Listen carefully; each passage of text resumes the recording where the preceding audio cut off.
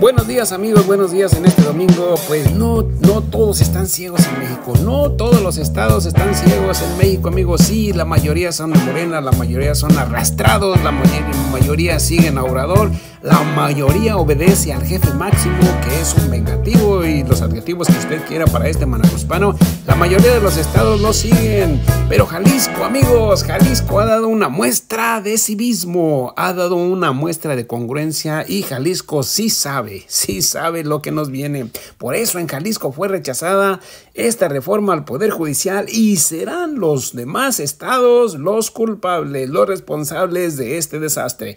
Vamos a ver este video amigos donde Jalisco rechaza esta barbaridad, donde Jalisco no se le hinca al manacuspano.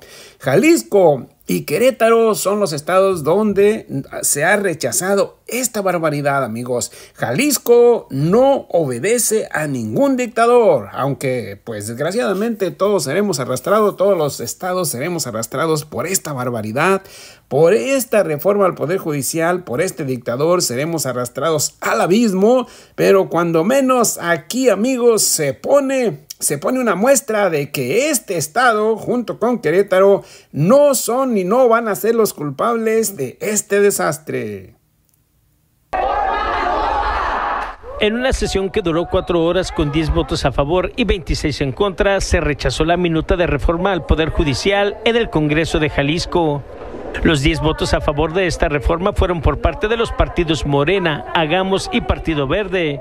Por su parte, votaron en contra las bancadas de Movimiento Ciudadano, el Partido Revolucionario Institucional y el Partido Acción Nacional. Con la ausencia de la diputada de Futuro y una de Acción Nacional, la sesión dio inicio al filo de las 20 horas con 17 minutos. Se estimaba que esta terminaría al filo de las 2 de la madrugada de hoy viernes.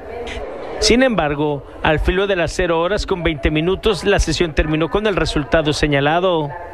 Hugo Contreras, diputado de la bancada priista, indicó que se está atentando contra la autonomía de poderes y destruyendo la democracia.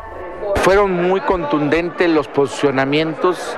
Aquí hay un partido en el poder que mayoritariamente está destruyendo el, eh, la autonomía, la división de poderes.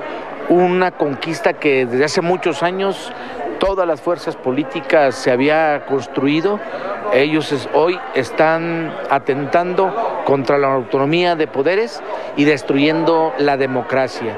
Por eso serán responsables y la historia va a juzgar la irresponsabilidad de un partido en el gobierno que obedece ciegamente a un hombre soberbio de poder y que solamente hace venganzas contra sus opositores.